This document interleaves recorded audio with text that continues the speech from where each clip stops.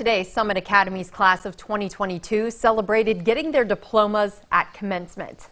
Jeremiah Aldeco. It's a milestone in any teenager's life. Family and friends cheered as their graduates' names were called. Our very own WKBN.com digital reporter Jennifer Rodriguez gave the keynote speech highlighting the importance of this day for those seniors. She challenged the class to envision what the, li the life is that they want and then go after it.